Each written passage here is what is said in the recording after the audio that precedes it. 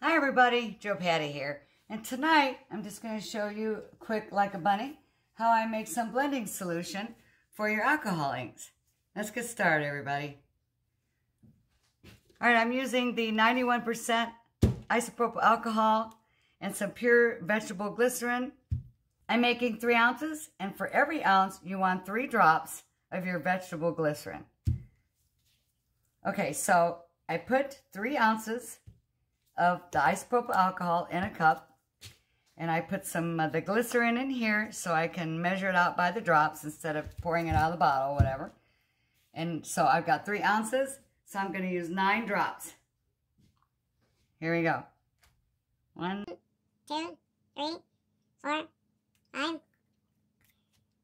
six, seven, eight, nine. Now, if you use too much, it uh, has a tendency to have a really long drying time and sometimes not dry at all. So you got to be careful and try to just get your measurements right. And I've seen this, I learned it on YouTube somewhere. I've seen somebody doing it. There's a million of these videos out there, so I couldn't even tell you where I got it from or where I learned it from. many, many people have done it. Okay, so now I'm just rinsing out my dropper here a little bit because I don't want all that glycerin in the dropper. And the reason I made three ounces, and I'm going to stir this up really good. The reason I made three ounces is because I want three different types of applications. I don't know if I want a spray bottle, or if I want a dropper, or if I want a squirter, because I don't know what I'm going to be making. So I just want to make sure I make enough so I can have that in all three bottles. Of course, it works best like when you use your alcohol inks. It works best on a, a real glossy surface or a shiny surface. So of course, yeah, it works better with like a photo paper and tiles and stuff because it's glossy and uh, it works better. Spreads good. All right, here we go. Got that done. Now I'm going to pour it in here.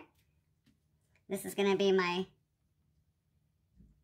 dropper here. Let's see. I can't talk and work at the same time. Isn't that silly? Gonna spread it out a little bit because I don't know how much. I kind of want more in my squirt bottle. I'm gonna make this video really short. I just want a little informational video. Let's see here. Maybe I'll fast forward all this stuff. There you have it. Homemade blending solution.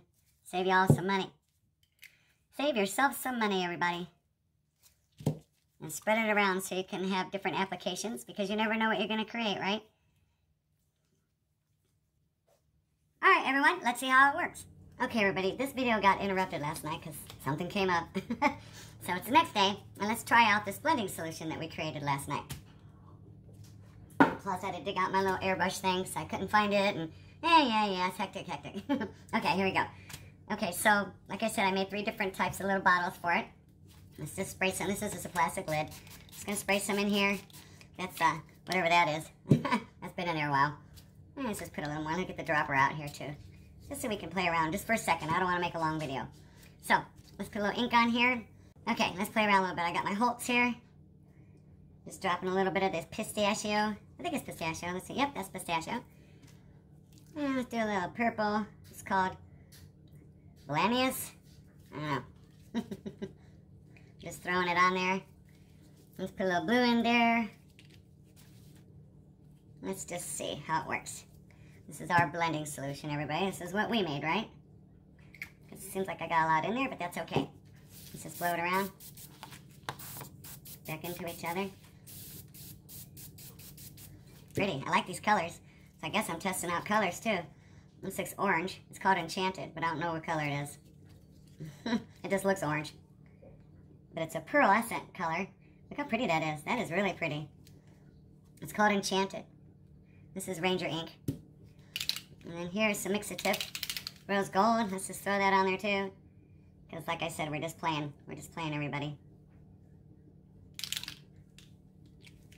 Playing in paints, playing in inks. Woo, pretty, pretty. I make my own rose gold, but I don't make my own rose gold uh, ink. So this rose gold ink actually looks like a bronze, a bronzy silver color. Put it over here.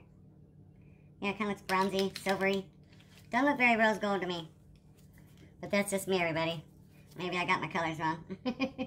now I dropped a little bit of my Jacquard Pinata, Passion Purple. And we'll throw a little black on there and then we'll be done playing. Just wanted to test out our homemade blending solution and it seems like it worked out pretty good. So you guys can save some money and go make your own blending solution.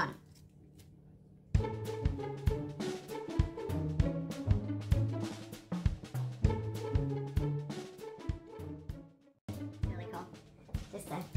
Hurry up with the video here. I got these really cool with Tim Holtz. These little cute little, uh, like, I don't know, they're not stickers, they're just paper, like paper dolls or whatever, but they're Halloweeny, aren't they cool? Can probably create something really cool with that, you guys. But anyway, that's in, uh, his section there. Tim Holtz, Paperology. Alright, everybody.